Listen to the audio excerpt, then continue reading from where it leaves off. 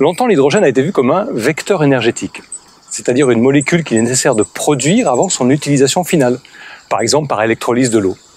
Mais les géologues, et notamment les géologues d'IFPEN, ont découvert que des processus pouvaient transformer l'eau profonde en hydrogène.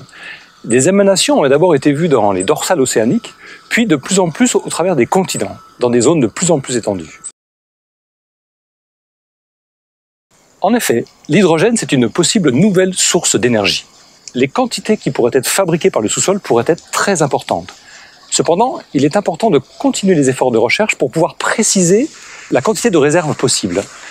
Une chose à préciser, c'est que l'hydrogène, lorsqu'elle produit de l'énergie, ne produit que de l'eau, et donc c'est une source d'énergie qui ne produit ni polluants ni gaz à effet de serre. Demain se prépare dès aujourd'hui. Pour nous, IFPEN, Centre de recherche et développement, il est important de continuer à développer des connaissances, à adapter les technologies du sous-sol à cette nouvelle thématique de l'hydrogène naturel. Mais c'est aussi un enjeu de filière. Il est important d'aider à lancer cette industrie. D'ailleurs, on peut souligner deux initiatives récentes.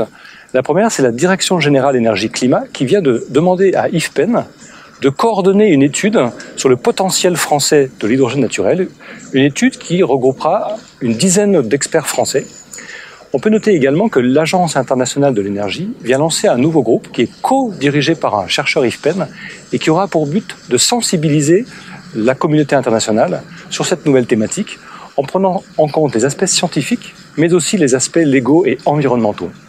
On voit que les choses se mettent en place et qu'IFPEN y joue un rôle de premier plan.